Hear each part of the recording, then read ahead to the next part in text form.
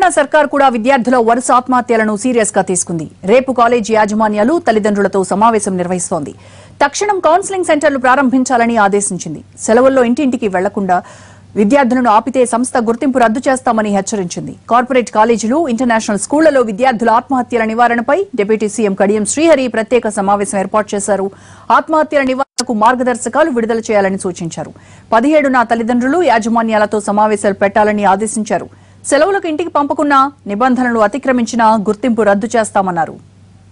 Corporate కాలేజీలో international స్కూల్స్లలో అదేవిధంగా corporate స్కూల్స్లలో ఒత్తిడిని తట్టుకోలేక కొంతమంది విద్యార్థులు అక్కడక్కడ ఆత్మహత్యలకు పాల్పడడం చాలా బాధాకరం.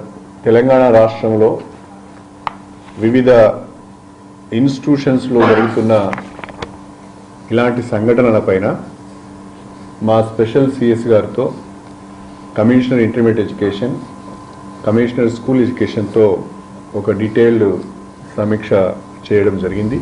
ఏ రకమైన చర్యలు తీసుకోవాలని చెప్పి చాలా డీటెయిల్గా మాట్లాడుకున్నాం.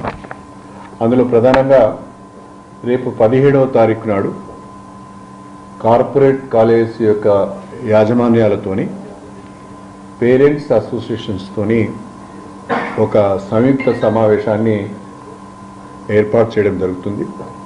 దానికి స్పెషల్ సిఎస్ గారు కమిషనర్ ఇంటర్మీడియట్ ఎడ్యుకేషన్ గారు అటెండ్ అవుతారు.